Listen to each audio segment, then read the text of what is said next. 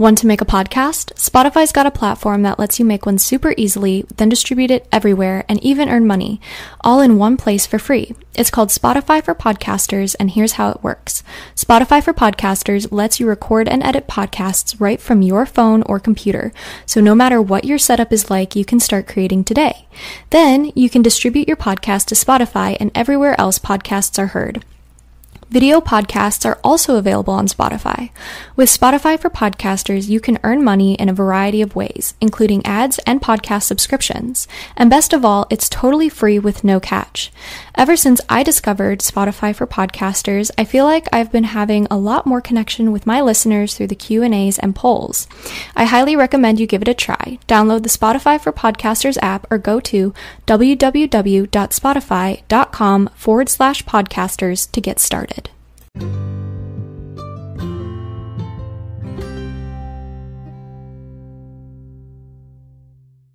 Hey guys, welcome back to season three of A Catholic's Perspective, the podcast about being a young Catholic surviving in a secular world. Today I have with me Father Frank Pavone. He is a Catholic priest in uh, Titusville, Florida. He is a full time pro life leader, director of Priests for Life, and was national co chair on Pro Life Voices for Trump. You can find him on Instagram, YouTube, Twitter, TikTok, some other places, and we'll link all of those below in the description. So, Father, you've done so many amazing things um, for the pro life movement. And praise God that Roe v. Wade uh, has been overturned. I'd love to kind of just get to know you a bit more for the listeners and, and how you got involved in the pro life movement. Absolutely, Amber. Well, it's great to be with you. Thanks for all the work you do online. I, I follow it closely and am uh, very uh, encouraged and inspired by what I see. You know, pro life has been important to me ever since I was 17 years old. And uh, that was just three short years after Roe versus Wade. I uh, was um, in high school, I was a senior in high school. And uh, I heard that there was going to be a bus trip to Washington for the March for Life. Now, I'm sure that many of our audience have been to the March for Life or certainly have heard about it or seen it online. And I went. I was in public school. I wasn't particularly tied in, you know, to the church or the pro-life movement, which was very young at that point. And uh, I was so inspired, Amber, by what I saw, the size of the crowd, the enthusiasm, the faith, and the faith coming from all different um, parts of the body of Christ, bringing them together under this issue. Uh, the, the, the differences in the crowd of age, of ethnicity, even of political diversity, all these people coming together on what was a bitter cold day, by the way. This was January of 1976. And um, wow, I was so uh, awakened, is the word I would use, to the importance of the issue of abortion and to the to the greatness of the pro-life movement. So that lit a spark in me. Um, it was not that I had personal experience with abortion or even with anyone who had had an abortion for me, it was very uh, much uh, intellectual and experiential in the sense of connecting with the movement. Mm. The more I, I, I, read and studied uh, about abortion, the more alarmed I became. And it was like an alarm going off in my mind that was getting louder and louder and louder because I said, if we're killing babies, you know, what kind of a society are we building? How can we survive as a nation? How can we survive morally? Uh, and, and, and I just grew into that as more and more time went on. It was at that very same time that I was experiencing a call to the priesthood. I had rediscovered, I had always been a practicing Catholic, but I kind of rediscovered the beauty of the faith and got into it far more uh, deeply and intentionally. I prayed more each day. I started going to Mass each morning before going to school. Uh, and as I say, I went to public schools. I started reading the scriptures more, and this was all happening at the same time there in uh, in 1976. So I ended up going into the seminary right after high school with this newfound uh, interest in the pro-life movement, and from there, as the years uh, went on, these two aspects of my vocation, priesthood and pro-life, have grown together uh, very, very uh, uh, very as much as an integral aspect one of the other. That's amazing. Wow. And you said you were 17. I think it's crazy because, especially in high school, around that age these days, that's really when people end up falling away from the faith. Um, and not to mention, you didn't go to a Catholic school, you went to a public school. I mean, to have a priest come out of public school and I mean, and become a priest right out of high school, that's absolutely phenomenal. Is there anyone you credit to really pursuing the priesthood in that direction or anybody? Well, yes, yes. Uh, well, first of all, well, I had a pastor like I said, my family, we went to church every week. We weren't really involved with the church much beyond that. But my pastor, and I say this very deliberately when I use these words, he was a saint. A hmm. saint. In fact, his great uncle is a saint, uh, Blessed Philip Rinaldi. Uh, the pastor of our church at Corpus Christi in Portchester, New York, was Father Peter Rinaldi. The man was a saint. There's no anybody who knows him and got to know him during those years would agree. The man was extraordinarily holy. So he was my first spiritual director. And uh, the day I went into his office and said, Father, I'm thinking of becoming a priest, he had never, now he had seen me around the church. Like I said, I had started going to daily mass, but he had never said anything to me like, oh, well, you should be a priest, or are you thinking about being a priest? Some of the parishioners said that to me, but he he never said that to me. But when I said to him, Father, I'm thinking of becoming a priest, you know what he did? He put his hands on his head and he said, Ah, he said, that's just what I've been praying for. wow. Isn't that beautiful? It's just what I've been praying for. And um, and at that point, you know, I started going to him regularly for for spiritual guidance. Uh, I didn't know at the time that was spiritual direction. You know, we weren't using that term. He would just invite me over and we'd have a talk, you know. And right faith, about prayer. I remember him saying to me, and I'm sure all of our audience will appreciate this. I'll never forget one of the key, and he was a Salesian, by the way. I don't know if I mentioned that. This was a Salesian parish. So the Salesians of St. John Bosco, following the spiritual teachings of St. Francis de Sales, who's my patron saint, by the way, uh, Francis de Sales has some very powerful spiritual teaching about peace of soul. And uh, the words, of course, that come from uh, uh, Saint Therese, let nothing disturb you.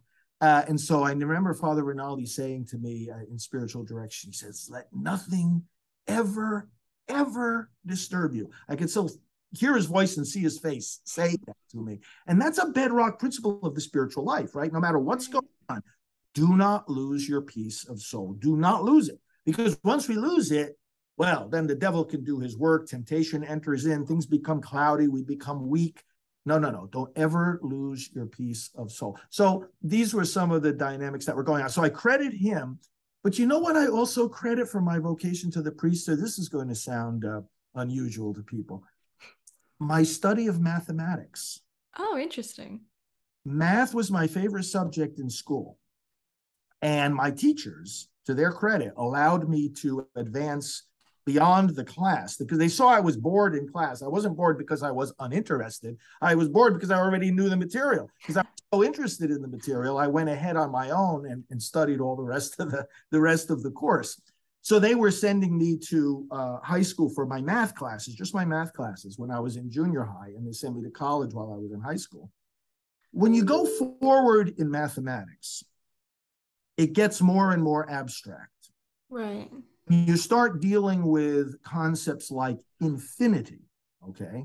Well, the concept of infinity is not that far away from the concept of eternity. And when you study the mathematical laws of the universe, it's natural to ask the question where did those laws come from? Who's the lawmaker, right? right. So, mathematics led me to start thinking philosophically which then led me in turn to start thinking theologically. And it got me actually to turn to the Bible, learn more about God. And then all those things that I described earlier started kicking in, where it was sort of like a, a renewed discovery of our wonderful Catholic faith. That's amazing. And honestly, thinking back on some of the greatest philosophers of our time, many of them were involved in mathematics or in some sort of um, math even if they didn't think it was math there was some sort of math they were involved in and it's it's very interesting um and so and you know you know amazing. amber in regard to that I, I always like and now i like history very much as well but back then I would have to say math was my favorite subject. History was my least favorite subject. no, I don't know if I could have articulated it then, but I understand better now why that was the case. Because math is extremely predictable. I mean, it's mm. predictable. And you get that with mathematical formulas, algebraic equations. Well, There's no exceptions. They're always going to work the same way. History is exactly the opposite, isn't it? I mean, history, you're That's dealing true. Behavior, you're dealing with fallen human nature, you're dealing with conflicts, you're dealing with changing circumstances, you're dealing with things that nobody could possibly foresee. We just had the that we just had the anniversary of 9-11, right? I mean, right. who knew that day what was going to happen, right? So so history is like just the opposite. You gotta you gotta be dealing with the unexpected and sometimes uh, the unexplainable, or the at least the unexplained.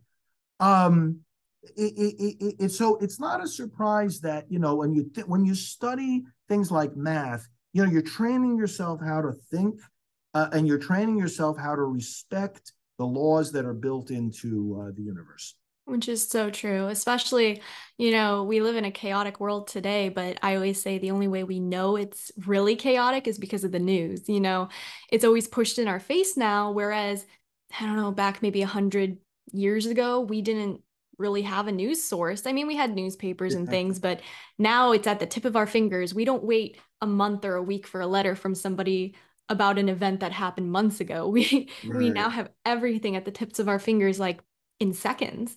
Um and so when we live in such a chaotic world, it can be easy to feel overwhelmed um, I think, in a lot of ways. And so history was one of my favorite topics, but something that always interested me was like the wars, you know, like what led us into yeah. the wars and what made us, you know, get to that point and what procedures could have been, you know, I mean, looking back in World War II and things in Poland when Divine Mercy was just starting to come out, Mm-hmm. Hitler had just taken over Poland and priests were getting killed left and right for just simply being priests.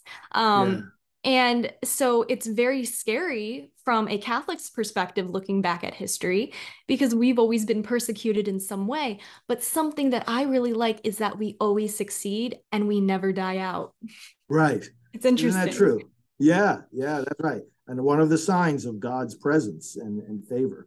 It's so true. And so I guess, well, bringing it back to like the pro life side of things, now that Roe v. Wade is overturned, unfortunately, I've been hearing a lot of pro lifers saying that their job is quote unquote done and they've stopped doing their pro life work. So, what really happened when Roe v. Wade was overturned, and why does it mean we need to fight even harder as pro lifers now? Well, the, the nutshell reason is the court basically said to us in, in the Dobbs case, which overturned Roe v. Wade just a couple of months ago, the court said to us, listen, we're not going to stand in your way anymore. Pro lifers, go ahead and do your keep doing your work. We're not going to stand in the way. Because what was happening for 50 years is that the court was standing in our way. We would work very hard to persuade people about the need to protect babies and to stop abortion. We would elect people who believed the same way. They would work on laws. We would lobby them. They would vote on the laws. They would get them passed, only in the end to have it struck down by the courts. it was like, you know this this losing battle is like yeah we know we're right and yeah our arguments are persuasive because look people are being persuaded and they're electing people and, the, and those elected people are passing passing these laws and we kept running into this roadblock of the court saying oh no no no it's not constitutional to protect these babies from abortion you got to allow abortion that's what Roe v. Wade said. You have to allow it. The state cannot prohibit it, except in the very latest stages of pregnancy. Okay, they drew the quote viability, which has its own problems. We could talk about that separately. So, what happened now, after 50 years of this, what happened now is that the court literally was one of these moments in American history, and there have been a few such moments when the court stood up and said, "We made a big mistake." Now that, that's you know, there's a spiritual dimension here that we could think about. That's, that's a profound act of humility. It's actually mm-hmm of repentance. And when you read the Dobbs decision, I mean, these these these justices are saying, yeah, we made not just a mistake, we made a big mistake on a very very consequential matter, and it has done a lot of damage to America. Okay, so how are we going to correct that mistake? What they said was, ladies and gentlemen of America, we, the Supreme Court, are not taking a position on abortion. And this is very important for our, you know, pro-choice friends to understand. It's not like the court took a position on abortion and said the unborn have rights, they should be protected. That's not what the court said.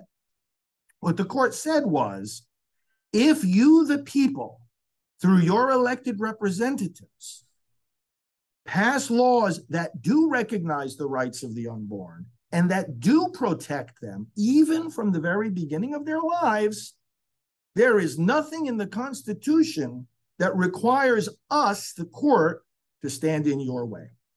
Right. And now, now, now that's not a hard concept to get. The court is, in other words, is just kind of backing off and it's saying, listen, this is why you have lawmakers. This is why you have Congress.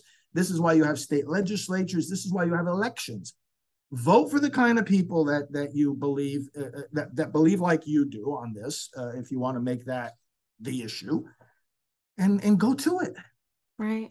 That's why going back to your point, which I see this too. I hear this also um, people saying, "Oh, well, well, we don't have to do pro-life stuff anymore. We won."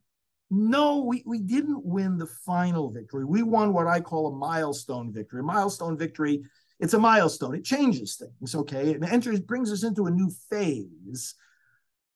But it's time to work even harder because those children are still not protected until we protect them. All the court is saying is we're not going to stand in your way. The court isn't saying they have to be protected because remember, the pro abortion people, they have the same freedom to elect the kind of people that will that will keep abortion legal. They have the same kind of freedom to to to pass laws that permit abortion instead of prohibiting. So the battle is on 100%. And in a sense, now we have to work even harder be, and we should be working even harder because now our work will have more effect. When we pass those laws, they're actually going to be implemented instead of struck down by the court. Right. That makes things understandable for, for, for people. No, for sure. And I think it's important to like also understand that there are tons of people in your state. You know, I think I live personally in Illinois, and Illinois is one of the most ah. pro choice states ever. Yes, it is. Um, it's very hard. There's so much work we can do here. And now that Roe v. Wade has been overturned, we can actually really start making a difference in who we implement into our governors and our mayors and things like that. And so I also highly suggest like don't give up. You know, we still have such a hard fight ahead of us in individual states now. Um, each state can now decide whether or not to ban or um, accept abortion. And right. and so it, I mean, you're in Florida, so Florida is a very pro-life state thanks to your governor, which is awesome. Yes, um, he's really great. But I also know that there's still work in Florida that needs to be done. You know, it's a never-ending battle. Well, the governor, I mean, Ron DeSantis, I was with him just recently, by the way, and he's very, very uh, committed to, to pro-life. And he recently signed a, a bill into law protecting babies at 15 weeks, which was the same kind of law Mississippi passed, which led to the Dobbs case, as you know. So, right. but but we've got and and that was very significant for Florida because we have a lot of late term abortion facilities here, you know, going well into 24, 28 weeks. It's it's tragic. Um, but there's more to do. There's more to do because 15 weeks, I mean, still there's a lot of abortions happening. There's a lot of abortion facilities in our state. Uh, and we we need to do more. We need to do more to protect more of these babies. So Florida is one of those states where, like you said, is fundamentally it's a pro-life state, but the protections for the unborn are such that there is still a lot more work to do. And this 15 week law was just very, very recent. It just went into effect right after the uh, Dobbs case came down. So, um, but we've got good opportunity here. But I want to give people a word of encouragement because even in states like Illinois or New York, where I'm from originally, or California, which is pretty bad also, even in those states, it is no longer possible for any pro abortion person or any legislator or any judge to ever say again that abortion is some kind of federal constitutional right. They mm. can't say that anymore. Now, what the pro abortion people try to do, they try to put it into the state constitution. Okay, but it's harder for them to do that now. And we've mm. seen some judges, uh, Amber, on the state level hesitate about finding a quote right to abortion in their state's constitution. You know why? Because they're they're looking at the reasoning from the Dobbs case. Mm. The Dobbs case is hey, wait a minute, we all believe in privacy, okay? Privacy in the sense that there's certain things we cannot share in terms of information, and there are certain things that when we make decisions, like in our families about certain matters, the government shouldn't interfere. Okay, so there is obviously a legitimate privacy interest that everybody has. But none of those privacy rights, uh, you know, what am I going to do with my leisure time, or what am I going to, uh, what school am I going to send my children to, or whom am I going to marry, or you know, none of these things, the court pointed out, in mm-hmm. the taking of a life. When you start going into the realm of a choice that means the ending of another life, you are in a unique category and you cannot use privacy or liberty to justify that. What the court said was we've never done that in our history. We don't justify killing by invoking privacy or liberty. Now, if the Supreme Court is making that argument to say that abortion is not in the federal constitution, judges on the state level, and certainly we, the people, can make that very same argument. What Dobbs has done, even in Illinois, mm-hmm. take away from the other side the the, the the the excuse they've been using for decades of just hiding behind the judges, right. the behind the courts. Oh, oh it's, it's almost like they don't have to make their case about why abortion's a good thing. They just invoke the courts and they say, oh, well, it's a constitutional right. Well, sorry, you can't say that anymore. If you want to convince the people and the lawmakers abortion is a good thing, you're going to have to convince us. You're going to have to make your case. And Amber, you know as well as I do, they don't have a case. They, they don't. You, you can't justify abortion. You just can't. It's the killing of a baby and uh, all their arguments fall apart under close scrutiny. And now, in the light of the Dobbs case, you know, they they, they got to come out of hiding. They can't just hide behind the robes of the justices. They got to come out and make their case. I completely agree. And I think now it's harder than ever for some people to really be pro life due to the fact that, like, even as Catholics, because we have a president in the White House that claims to be mm. Catholic, but goes completely against almost every Catholic teaching. Yeah. Um, so how can we keep our mind and, and stay pro-life in these troubling times when we have so many false leaders among us and, and wolves in sheep's clothing? Right. That, that, and, and this is exactly one of the reasons that the Catholic bishops are concerned about uh, what, what Joe Biden is doing and saying, and also Nancy Pelosi because they know that they have been entrusted by the Lord with the responsibility to guard and teach the faith. Mm-hmm. Not Joe Biden, not prominent Catholic politicians. They're not the ones who de- get to define what it means to be a Catholic. So the bishops are the primary teachers, and even they, okay, are they're you might use the word derivative Mm-hmm. What I mean is, a bishop doesn't get up and teach the faith with authority because it's his own idea or his own conclusion. Same with a priest, a deacon. We get up and preach and teach because we've been ordained to do so in the name of Christ and the church. So, in other words, we don't have any right to teach or preach something that is contrary to what the church has always taught. So people would ask, well, what's our anchor when there's so much confusion? You got prominent Catholics like Biden, you know, confusing people like crazy because they're saying they're Catholic and they're they're saying then the exactly the opposite. And, and remember, he's not just disagreeing with the church about abortion; he's actively promoting it. Right.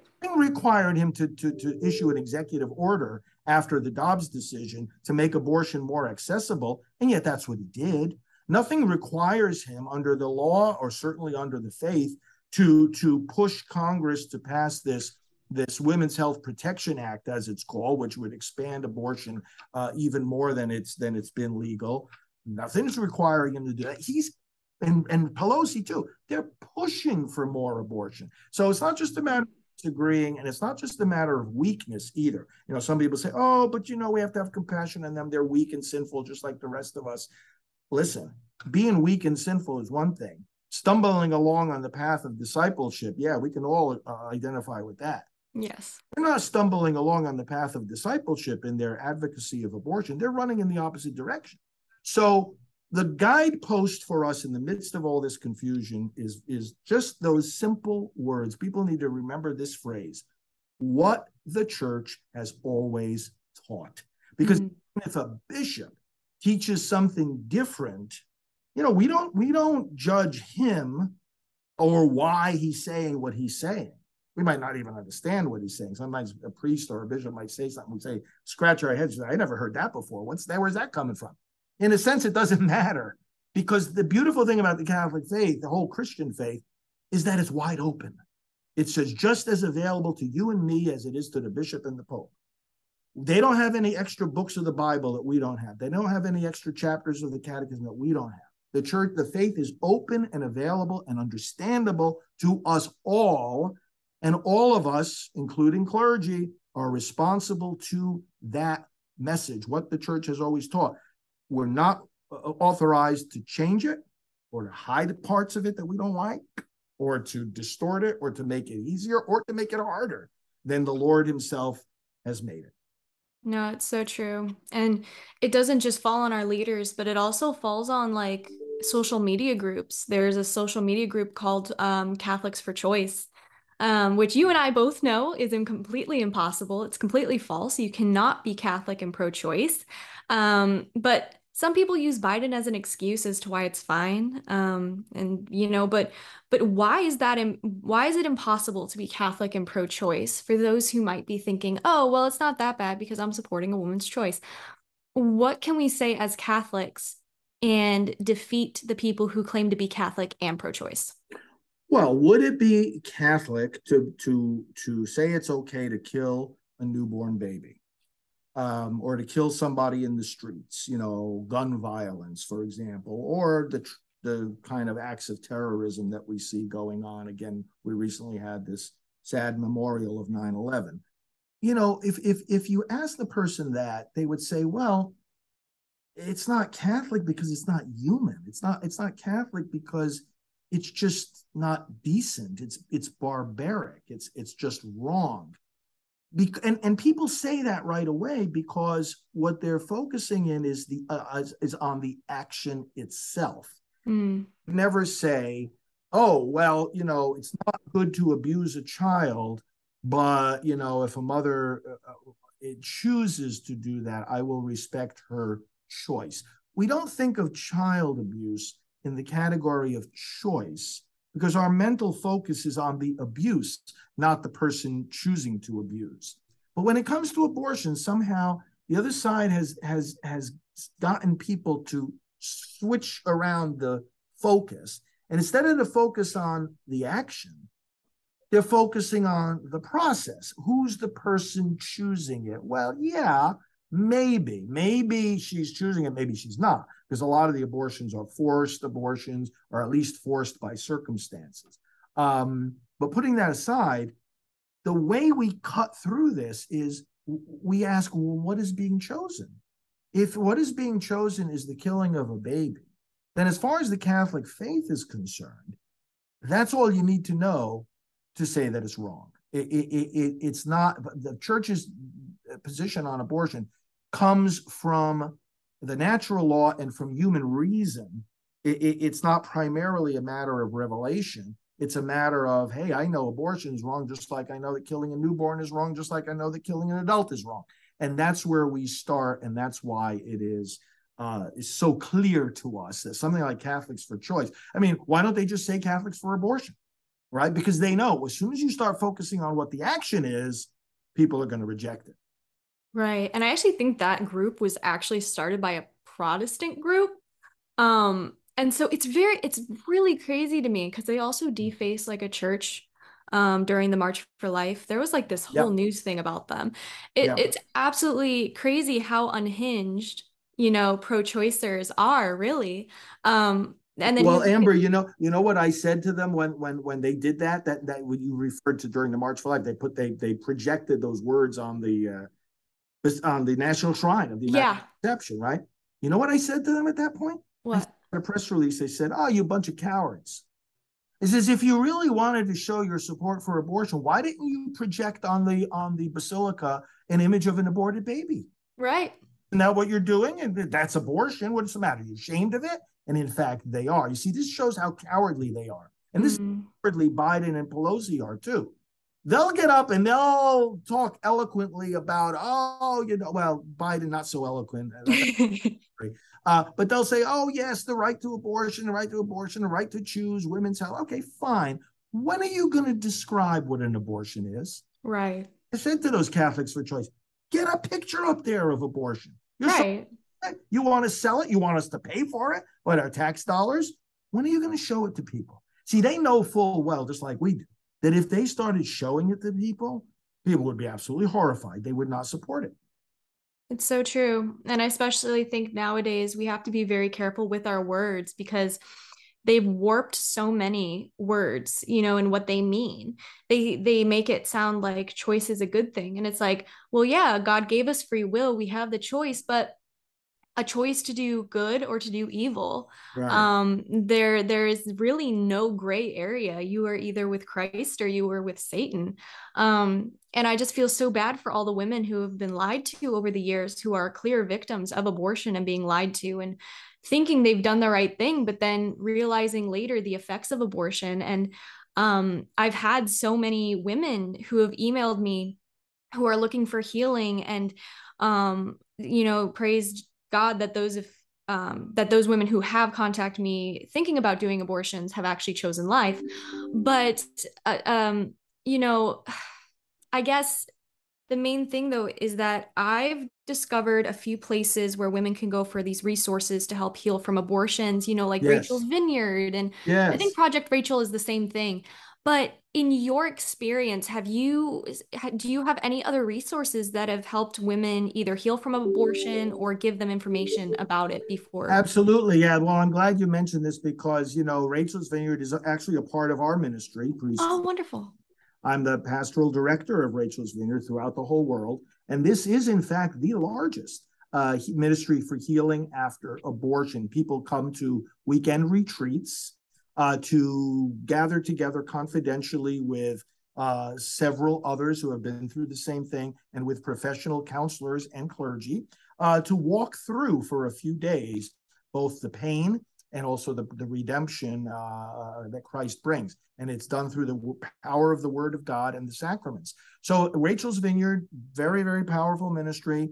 Um, and uh, I'm going to give people a special website where they can connect not only with the Rachel's Vineyard uh, sites, but actually there are dozens of other ministries too.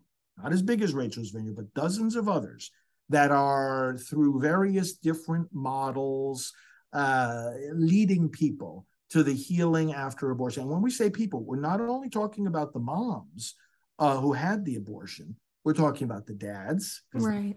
Also, talking also about the grandparents. I mean, these parents sometimes they were the ones that forced their daughter to have an abortion or pressured their son to force the mother to have an abortion uh, they suffer too. They suffer regret as well. A lot of people need healing. The siblings of the aborted babies, think about them. Or the friends. What about a friend who drives a friend to get an abortion or a friend who helps pay for an abortion? Then they realize later on, wait a minute, I, I took the life of a, of a human being. They go through grief and pain and distress as well. So when we talk about the healing after abortion, we're talking about a wide circle of people who are involved in different ways. So I want to give you a website where people can connect with a wide range of ministries in the place closest to where they live. And folks, if you write this down, you may have a friend one day that needs this help and you'll know exactly where to go. It's simply abortionforgiveness.com. And abortionforgiveness.com is a website we set up you put in your zip code, and it plugs into the databases of Rachel's Vineyard and various other ministries that are operating nationwide. There's no place at all where people might live that they can't uh, find something reasonably close to them. Abortionforgiveness.com. And, and Amber, one more resource. Many of those who've gone through these healing programs just like we see in the Gospels when people were healed by Jesus. Remember how they want to run off and tell their story? Yeah. just told them to be quiet. They went off and they talked anyway, you know. So they but but but but this desire to share your testimony with others. It's a, it's actually a, a it's an it's an outflow of gratitude. You're right. grateful to God for what He did to you. You want to share that that gift with others. So we have a campaign called Silent No More, and when I say we, it's a project of Priests for Life and Anglicans for Life. So hmm. interdenominational project. And what it is is very simply, I mean, aside from what we already said, spreading the word that forgiveness and healing are available. What this is, is if someone wants to share their story of their abortion, we help them first of all discern because it's a, it's a discernment. Is this the will of god that i should share my story? Feel they want to well then maybe it's the will of god but you have to consider a few other things.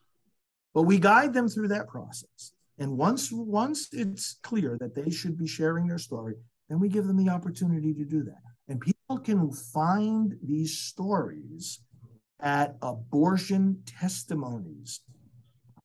So before we told you abortionforgiveness.com, now abortiontestimonies.com. Again, people can look and see, they'll see different categories late term abortion, abortion after rape, but it's all different kinds of circumstances. And wow, the stories are so powerful. And that's actually a tool that everyone can use to help in two things. First, you can help dissuade someone from an abortion, uh, and second, uh, but, but but simply by by sharing these testimonies. Well, wow, I didn't know people suffered so much. And secondly, you can help somebody who has had an abortion, but maybe they're they're unsure if God even loves them. I mean, they don't love themselves anymore, and they don't know if the church will ever accept them again. And, and you let them listen to these stories and they will see that yes there is redemption there is forgiveness there is peace that can be obtained after abortion it's so true and there's so many amazing people out there who are willing to help these women and you know i'm a certified sidewalk counselor and you know i've spoken to some women who just they they feel like they're in fight or flight mode and yeah. the only way they can survive is if they get an abortion because maybe they can't make rent or they don't have a car they don't have a job and you know those crisis pregnancy centers um, are located all over the world and you know if you are contemplating an abortion crisis pregnancy centers will help you for free. They'll give you a free ultrasound. They'll they'll help you out financially. I know of a crisis pregnancy center where a woman said she was getting an abortion because she didn't have a car to drive to and from work and the pregnancy center bought her a car. Um, right and so there are resources out there. People do want to help, and you are not alone in these situations. You know, millions of women have struggled with this and will continue struggling with this if nobody reaches out a helping hand. And that's why we're here, you know, is to give those resources and to help those women and to spread the awareness of all of this.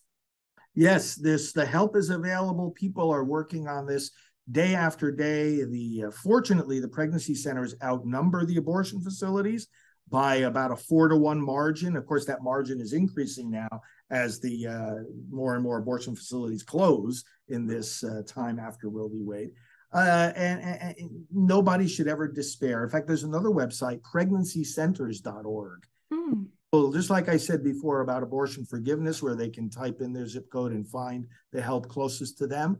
So it is with pregnancycenters.org. They can type their zip code and find the pregnancy center nearest to them and uh, receive the help either for themselves or someone they know uh, who doesn't know what to do about their pregnancy. So pregnancycenters.org, uh, life-giving uh, help and hope. You know, because Amber, when you think about it spiritually, the, the, the, the work of the pro-life movement in saving people from, from having an abortion and saving the life of that child is to replace despair with hope.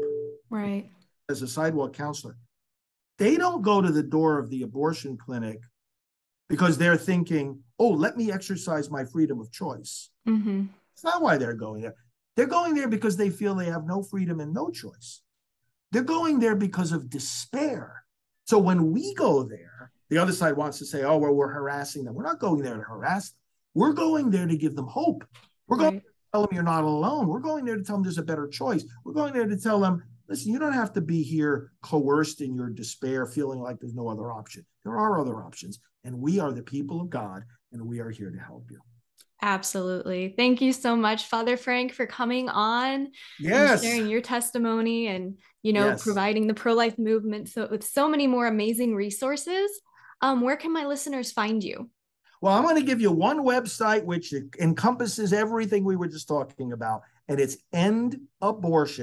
endabortion.us. US us is the is the is the domain there endabortion.us and you'll find the links to the, all the different branches of our ministry including as you mentioned at the outset my social media platforms that I hope everybody connects with me on and that's where of course uh, with all the things you're doing, it, it's so much fun to be connected on social media. So I hope that your audience uh, connects with me as well at FR Frank Pavone. But like you said, you'll put the links up. Uh, yeah. They'll see them also on that web that web page, uh, endabortion.us. We hope to hear from folks and let's stay connected with each other. That's awesome. Well, thank you so much again for being on. Um, hopefully, we'll have you back on in the future. And uh, thank you so much. God bless. God bless you too. Keep up the good work. Thank you so much. I hope this podcast was helpful for anyone who maybe might be struggling with abortion healing or wanting to know more about how to be Catholic and pro life. And with all of that being said, I hope you guys enjoyed this episode, and I'll talk to you guys in the next one. Bye.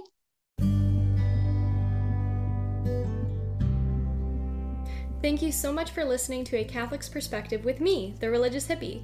Make sure to visit my official website at thereligioushippie.com, and while you're there, be sure to sign up for my newsletter to keep up to date with my latest news and offerings. You can also find me on virtually any social media site as The Religious Hippie. Thanks for listening. A quest is a search for something. And every week, the Quest podcast will show you how we know what we know through interviews with people that have incredible stories of dedication and perseverance. I'm your host, Todd Fisher. Join me in this thought provoking and inspiring podcast of discovery. Find us anywhere you listen to podcasts.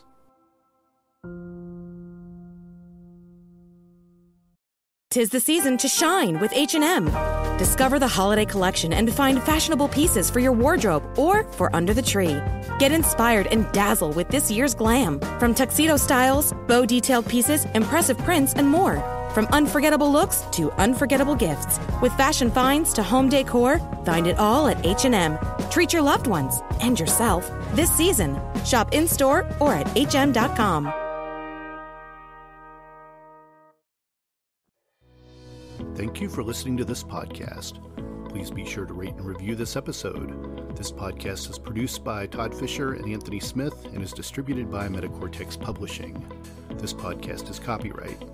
Any previously trademarked or copyright content is used by permission. Information and opinions stated in this podcast should not be construed as medical advice. Please be sure and visit the official website for Metacortex Publishing at metacortexpublishing.com or find us on social media for other unique content.